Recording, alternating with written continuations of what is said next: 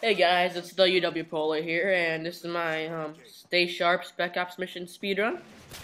And um, I, I, believe my time is 21 seconds exact. Um, this isn't this isn't my best time. My best time was 20.6 seconds, so 0.4 off. But I had a couple errors here. Like right there, we got stuck on that little um, person. And right here, I missed a dog. So I, I could have done a lot better. Could have easily beat my other time. So yeah, thanks for watching. Bye.